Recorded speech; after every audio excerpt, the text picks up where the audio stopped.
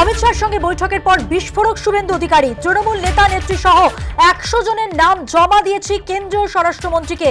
চারজন বিধায়কের letter pad সহ বিভিন্ন তথ্য প্রমাণ জমা দিয়েছি। বৈঠকের পর এমনটাই অভিযোগ রাজ্যের বিরোধী দলনেতার।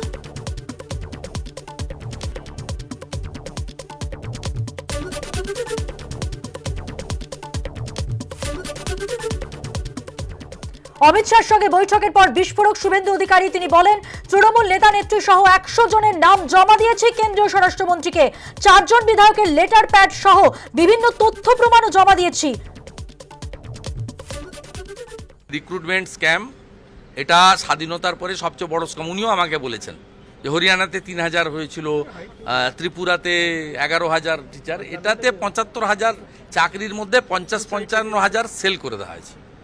এবং এটাতে একা পার্থ চ্যাটার্জি, অপা মপা, এরা যুক্ত শুধু নন। এর সঙ্গে প্রচুর কালেক্টর আছে। আপনি ব্লক ওয়াইজ কালেক্টর আছে ডিস্ট্রিক্ট ওয়াইজ কালেক্টর আছে।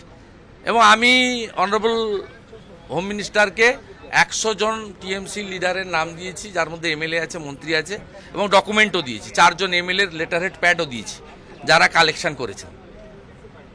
দিয়েছি, এটা একটা ইস্যু আমি বলেছি এটাকে আরও কড়া করতে হবে আরও কঠিন সাজা দিতে হবে, একদম রুট আর শুভেন্দু অধিকারীর এই বক্তব্যের প্রেক্ষিতে তৃণমূল সাংসদ শান্তনু সেন কি বলেছেন, শোনাবো।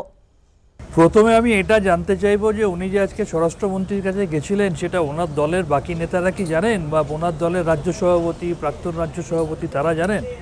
তার কারণ ওনার দলের যে অবস্থা দেখছি, এখানে গান্ধী মূর্তিতে ধর্ণা দিচ্ছে যে ওদের যা সংসদ সংখ্যা তার অর্ধেকের কম আসছে। একটা মিছিলে একটা নেতা গেলে আর একটা মিছিলে অন্য নেতা যাচ্ছে আর একজন যাচ্ছে না। সুতরাং আমার প্রথম প্রশ্ন, তিনি যে মন্ত্রীর কাছে গিয়েছিলেন, সেটা তাদের দলের সর্বসম্মত কিনা, এটা আমার মনে একটা জানার ইচ্ছা থেকেই গেল। দ্বিতীয়ত আমি যেটা বলতে চাইব, দুর্নীতির কথা বলতে গেলে যে দলটা পাহাড় প্রমাণ দুর্নীতিতে ডুবে রয়েছে, যে দলটা দুর্নীতির ঠাকুরদাদা আজকে দুর্নীতির কথা বলতে গেলে অ্যালফাবেটের এ টু জেডের ছাব্বিশটা অ্যালফাবেট শেষ হয়ে যাবে, কিন্তু বিজেপির দুর্নীতি স্ক্যামের কথা শেষ হবে না। সেই সেই দলের কাছ থেকে দুর্নীতির কথা আমরা শুনতে রাজি নই। इनवाइट साढ़े ग्यारह से बारह हो गया।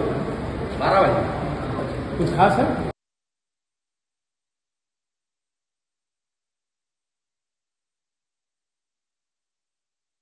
দেশে করোনা গ্রাফের ওঠানামা চলছে। কেন্দ্রীয় স্বাস্থ্য মন্ত্রকের পরিসংখ্যান অনুযায়ী গত চব্বিশ ঘন্টায় দেশে করোনায় আক্রান্ত হয়েছেন তেরো হাজার সাতশো চৌত্রিশ জন। গতকাল দৈনিক আক্রান্তের সংখ্যা ছিল ষোলো হাজার চারশো চৌষট্টি। গত চব্বিশ ঘন্টায় দেশে করোনায় মৃত্যু হয়েছে সাতাশ জনের। গতকাল দৈনিক মৃত্যুর সংখ্যা ছিল চব্বিশ। এখনও পর্যন্ত দেশে করোনায় মৃত্যু হয়েছে পাঁচ লক্ষ ছাব্বিশ হাজার চারশো তিরিশ জনের। মোট আক্রান্তের সংখ্যা চার কোটি চল্লিশ লক্ষ পঞ্চাশ হাজার নয়।